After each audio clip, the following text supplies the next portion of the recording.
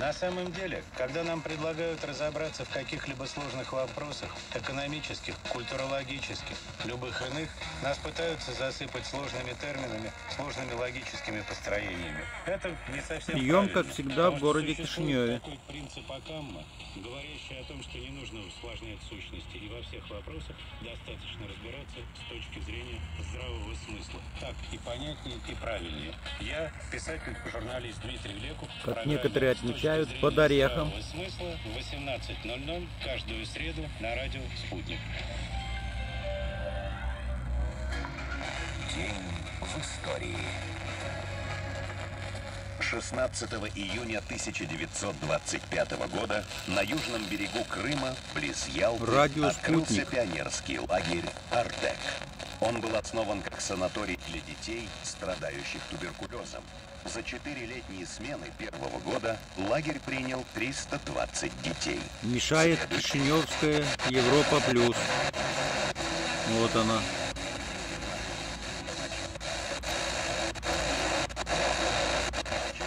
30-е годы был построен зимний корпус, и Артек перешел на круглогодичную работу. Зная прошлое, проще понять, что происходит сегодня. Слушайте «Радио Спутник».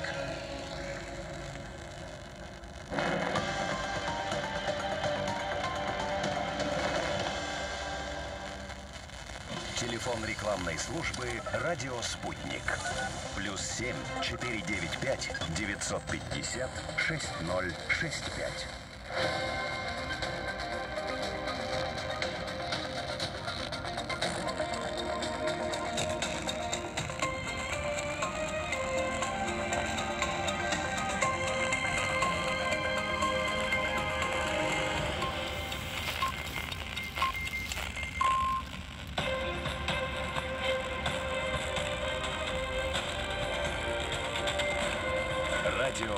«Спутник». Разберемся.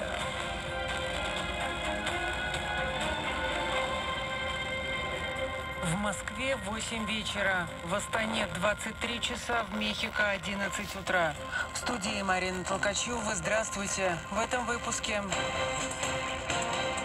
Житель Курской области пострадал в результате падения беспилотника ВСУ. Россия готова вести с США переговоры о контроле над ядерными вооружениями. Со стороны Запада есть попытки давления на государство Персидского залива. Теперь подробнее. Результате падения украинского беспилотника пострадал житель села Коренево Курской области. У него легкие осколочные ранения, сообщил губернатор российского региона Роман Старовойт. По его словам, врачи и бригады скорой на месте оказали мужчине помощь. От госпитализации он отказался. Губернатор добавил, что взрывом повредило окна дома и пообещал помочь восстановить разрушения. Украинские войска обстреляли Донецк и Макеевку. По ним выпустили 11 снарядов натовского калибра 155 миллиметров, сообщили в представительстве ДНР в совместном центре контроля и координации вопросов, связанных с военными преступлениями Украины. Ранее мэр Донецка Алексей Кулемзин заявлял, что Телескопическая антенна на всю длину. в Кировском районе попала под обстрел со стороны подразделений ВСУ. В результате один мирный житель погиб и еще семь получили ранения. При иной администрации в США конфликт на Украине удалось бы решить миром. Об этом заявил российский президент Владимир Путин на Петербургском международном экономическом форуме. При этом глава государства добавил, что во время президентства Дональда Трампа было введено очень большое количество санкций и ограничений в отношении России. И обратил внимание, что никаких тяжелых трагических событий на Украине тогда и в помине не было. Тем не менее, меры вводились, сказал Путин. Москва готова вести с Вашингтоном переговоры о контроле над ядерными вооружениями. Об этом заявил пресс-секретарь президента России Дмитрий Песков на полях Петербургского международного экономического форума. Песков уверен, что речь российского лидера Владимира Путина на форуме услышат на Западе. Ранее на пленарной сессии глава государства заявил, что у России больше ядерного оружия, чем у стран НАТО, и они хотят, чтобы Москва сократила его, но этого не будет. Попытки давления на страны Персидского залива со стороны Запада есть, но они не дают результатов. Об этом заявил министр иностранных дел России Сергей Лавров. Руководитель ведомства также добавил, отношения Москвы с Лигой арабских государств и Советом сотрудничества арабских государств залива имеют уже давнюю историю. И в том, и в другом случае есть министерские форумы. Советом сотрудничества через месяц в Российской Федерации состоится Грозовые тучки, а дождя нет. Москва примет фестиваль «Российская креативная неделя». Приедут участники из дружественных стран, включая Китай, Турцию, Бразилию, Индию и Индонезию. Представят свои продукты и проведут деловые встречи на более чем 60 площадках, сообщает портал мэра и правительства российской столицы.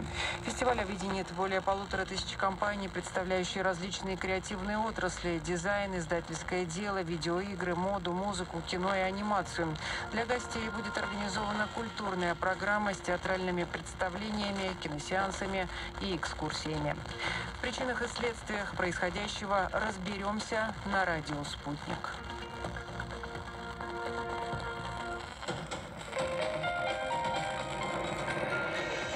Следующий выпуск новостей на «Спутнике» через полчаса.